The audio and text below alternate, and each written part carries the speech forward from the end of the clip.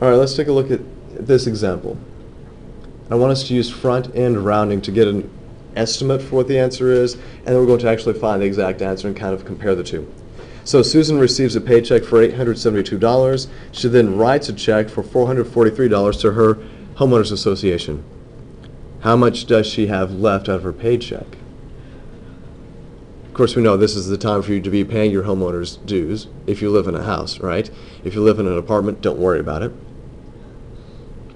So when I look at these numbers, I'm trying to combine these two numbers, right? When I see the 872, is this a positive or a negative?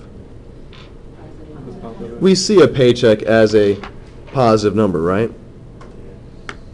And I'm adding to that what kind of number?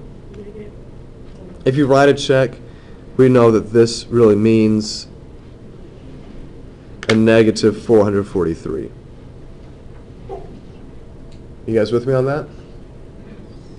If I were to do an estimation here based on front end rounding, how would you estimate 872 if you round to the nearest hundreds? So that's about 900 plus, if I round this guy, what is he?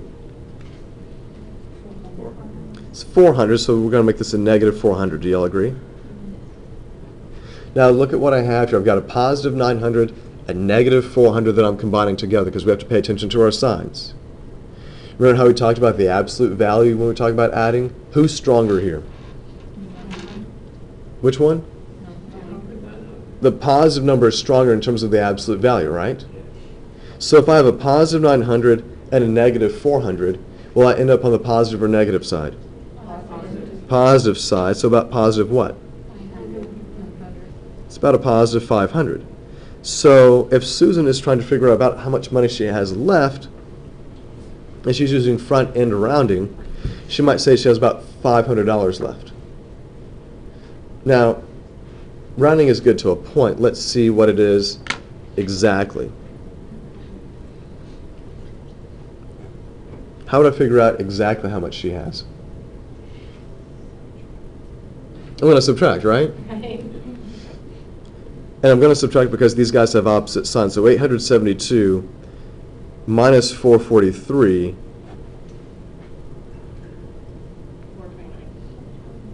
Four twenty. You sure about that? Yep.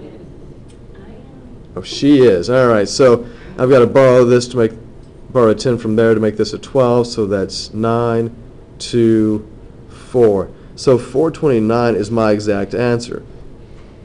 The estimate was, I guess I need to be careful here. We are talking about dollars here. So she actually has, she has $429 left over.